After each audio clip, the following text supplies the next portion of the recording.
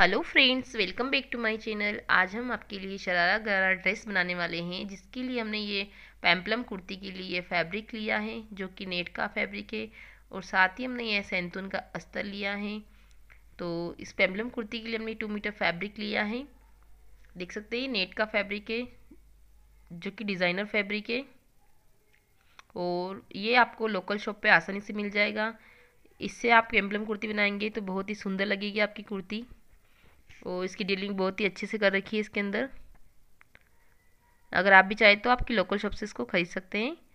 अब कपड़े को हम टू फोल्ड कर लेंगे इस तरह साइड से। अब इसको फिर से एक और फोल्ड कर लेंगे तो ये हमारा फोर फोल्ड हो जाएगा। और लाइन को नीचे से लाइन खींच देंगे। और कपड़े को सीधा कर लेंगे इस तरह से। और यहाँ पे हम लंबाई की मार्किंग करेंगे।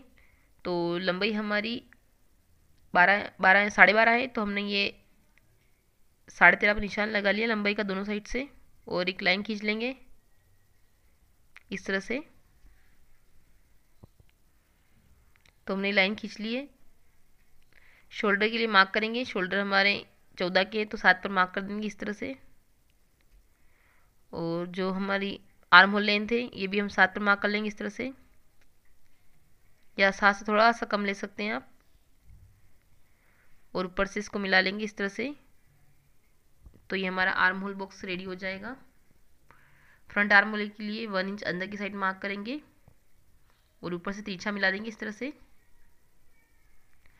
उसमें हम गोले दे देंगे अंदर की साइड तो ये हमारा फ्रंट आर्म हो जाएगा और ये हमारा बैक आर्म होल यहाँ से चेस्ट का मार्क करेंगे चेस्ट बत्तीस से तो उसका चौथा भाग आठ इंच और उसमें हमने टू इंच लूजिंग एड कर दिए कमर कमर हमारी सत्ताईस की है तो हम साथ में थोड़ा सा कम पे निशान लगा लेंगे और इसमें दो इंच लूजिंग ऐड कर देंगे सिले का मार्जिन इस तरह से।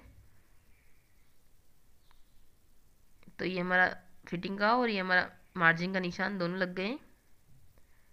अब यहाँ से हम गले का मार्किंग करेंगे। गले हम बोट नेक बनाने वाले हैं तो चार इंच में निशान लगाएँगे। लंबाई भी इसकी हम चार इंच रखेंगे। आप चाहे तो साढ़े तीन भी रख सकते हैं। एक बॉक्स बना लेंगे और एक बोट नेक का शेप दे देंगे इस तरह से। अब यहाँ से हम शोल्डर डाउन करेंगे हाफ़ इंच और बैक पार्ट के लिए हम थोड़ा सा हाफ़ इंच ऊपर लेंगे, पीछे की साइड ताकि हमारी फिटिंग अच्छे से बैठ जाए। तो हमने बैक के लिए हल्का सा ऊपर से हाफ़ इंच एक्स्ट्रा लिया है। ये देख सकते हैं इस तरह से।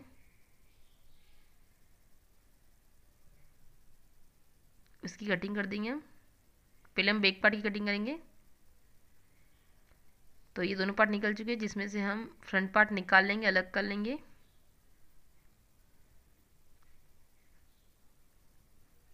अब ये फ्रंट पार्ट जो हमने अलग निकाला था, इसकी हम आर्मोल की कटिंग कर लेंगे।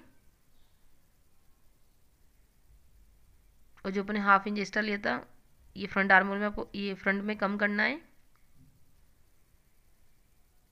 अब हम इसकी लंबाई की कटिंग करेंगे, जो कि हमारे घेर की लंबाई होगी। मैंने कपड़े को टू फोल्ड कर लिया है। और इसकी लंबाई जो भी आपकी लेंथ हो उसमें से आपको चोली का माइनस करके ले लेना है। तो, तो हमारे यहाँ पर ये गेयर आएगा साढ़े तेरह इंच का। तो हमने साढ़े तीन इंच पे मार्क कर दिया है। आपको वन इंच प्लस कर लेना है जो भी आपकी लंबाई हो उसमें चोली का माइनस करके। तो इस तरह से हमारी ये दो पट्टियाँ कट चुकी है हमारे गेयर के लिए बैक साइड और फ्रंट साइड के लिए। इस तरह से देख सकते हैं। अब हम अस्तर के ऊपर जो हमने ये चोली का काटी थी उसको रख कर कटिंग कर लेंगे। इस तरह से। ये हमारा शाइनिंग वाला फैब्रिक है। तो हमारे दोनों पार्ट्स कर चुके हैं और हमने कॉटन का आस्था भी ले लिया जो कि हम अंदर की साइड लगाएँगे। तो इस तरह से हमारी ये चोली कटिंग हो चुकी है। इसमें हमारा थ्री थ्री लाइन में हो जाएगी ये। जो ये शाइनिंग वाला फैब्रिक है, ये जस्ट नेट की बात लगेगा और पीछे हमारा कॉटन का अस्तर लगेगा। और हमने ये अम्ब्रेला घेर भी काट लिया है, जो कि हम आगे लगाएँगे। चोली के अंदर। और फिर इसके ऊपर ये जो हमने जो पट्टियाँ काटी थी तेरह तेरह इंच की, दोनों साइड के लिए तो इन पट्टियों से हम गैदरिंग्स बनाएँगे। क्योंकि ये पेम्पलम कुर्ती होने वाली है तो इसमें हम शॉर्ट ही रखेंगे इसको, इस तरह से।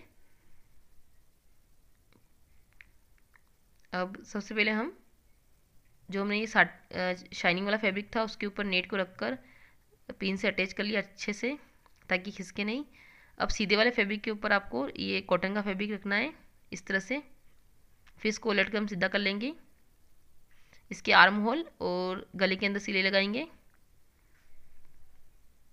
मार्जिन छोड़ते हुए आपको गले के अंदर सिले लगा लेनी है। अब गले के अंदर नोचेस लगाएँगे छोटे छोटे ताकि हमारा गला अच्छे से पलट जाए।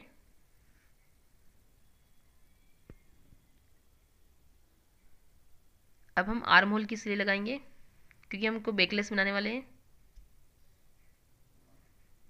इसके अंदर हम स्लीव्स नहीं लगाएँगे, इसलिए हमने आर्म होल के अंदर सिले लगा लिए अगर आपको स्लीव्स लगानी है तो यहाँ सिले नहीं लगा सकते इसकी जगह आपको स्लीव्स लगानी पड़ेगी। अब इसमें छोटे नोचेस लगा लेंगे।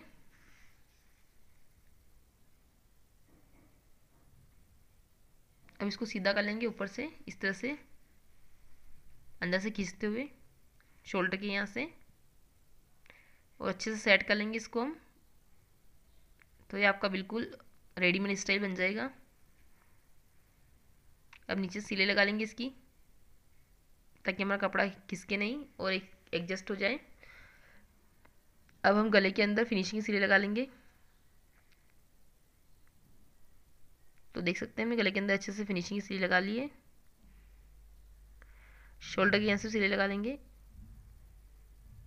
अब इसके टक्स पॉइंट का निशान लगाएँगे। टक्स पॉइंट के लिए साढ़े तीन पर मार्क करना है दोनों साइड से। और लंबाई इसकी हम चार इंच रखेंगे इस तरह से। एक लाइन ड्रॉ कर देनी है। अब दोनों को मिला लेना इस तरह से। तो आपके दोनों ये निशान एक दूसरे लग जाएँगे और इस तरह से हमारा दूसरा निशान लग जाएगा। दोनों टक्स को लगा लेंगे हम। तो देख सकते हैं दोनों टक्स लगा लिए अब हम इसी तरह से दूसरा पार्ट भी हमने रेडी कर लिया है। अब दोनों के शोल्डर अटैच कर लेंगे हम। तो देख सकते हैं हम चोली के दोनों पार्ट्स को अटैच कर लिए हैं ऊपर से। अब हम जो हमने ये घेरे के लिए जो नेट काटा था, उसकी चुनटें बनाएँगे छोटी छोटी जो आगे वाला पट्टा है, उसको आगे लगा देंगे, पीछे वाले को पीछे पे लगा देंगे। छोटी छोटी नेट बनानी आपको बिल्कुल बारीक बारीक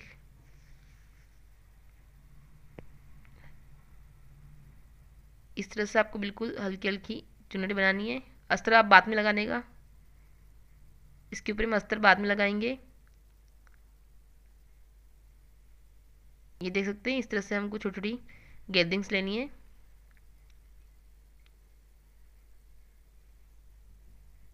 तो इस तरह से हमारा ये फ्रंट पार्ट रेडी हो जाएगा।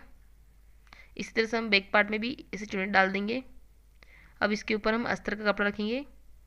जो हमने काटा था और अमला शेप में, उसको सिल देंगे। ये देख सकते हैं, हमने सिल लगाई, लगा दी है। इसी तरह हमने बैक पार्ट में भी कर दी है सिलाई। ये देख सकते हैं इस तरह से। ये दोनों साइड से हमारा रेडी हो चुका है। अब इसके अंदर हम फिटिंग का निशान लगाएँगे। तो फिटिंग का निशान लगाने के लिए हम कपड़े को इस तरह से उल्टा कर लेंगे और यहाँ से फिटिंग का मार्किंग करेंगे।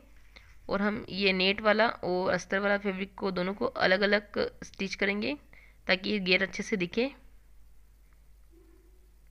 तो हम दोनों साइड निशान लगा लेंगे फिटिंग का। बिल्कुल आपको पास पास सिलाई लगानी है फ़र्स्ट वाली। और यहाँ से आपको अस्तर को अलग कर लेना है और फिर नेट वाले फैब्रिक के ऊपर सिलाई लगानी है।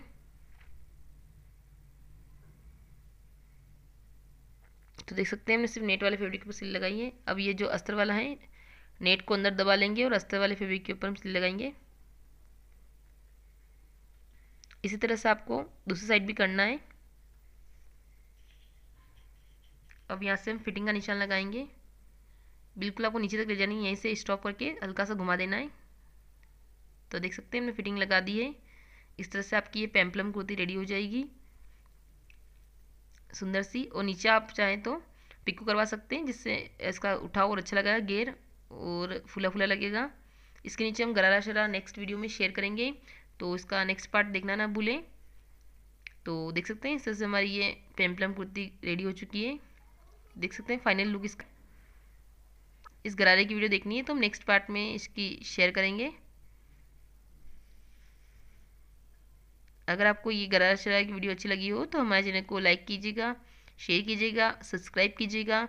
और नेक्स्ट वाले पार्ट में हम और भी अच्छी अच्छी वीडियो लाने वाले हैं, नेट के लहंगे वगैरह, हम आपके लिए लाने वाले हैं तो इस चैनल को सब्सक्राइब कीजिएगा, शेयर कीजिएगा और लाइक कीजिएगा। Thank you for watching.